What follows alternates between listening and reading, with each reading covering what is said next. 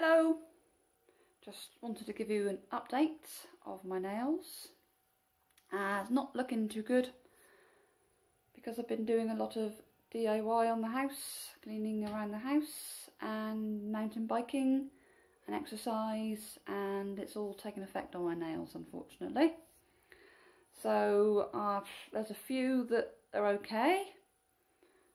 Those ones all seem to be very good on my right hand.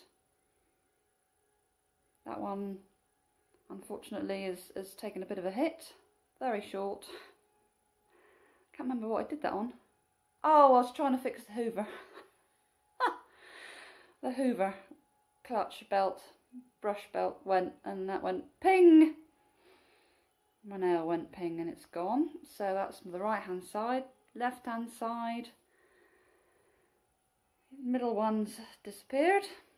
That I did on my mountain bike trying to reach for the brakes and it went ping uh, this nail on my left hand side has got three breaks in it but down the bottom there's one down there and there's two on the side so don't be surprised if uh, you find any more videos or photographs in the future and that nail gone but i am trying I'm trying hard not to use that thumb um, because it's got the, they're splits it hasn't broken all the way across the nail it's just just sort of split a little bit so I'm being very careful with this one at the moment.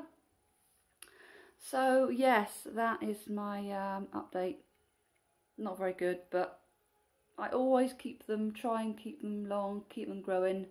I've not stopped yet, so you know, I haven't cut them short because I've gone off growing my nails. They're always, I'm always trying to grow them, so that's just a little update. Thank you for watching. See you all again soon. Bye bye.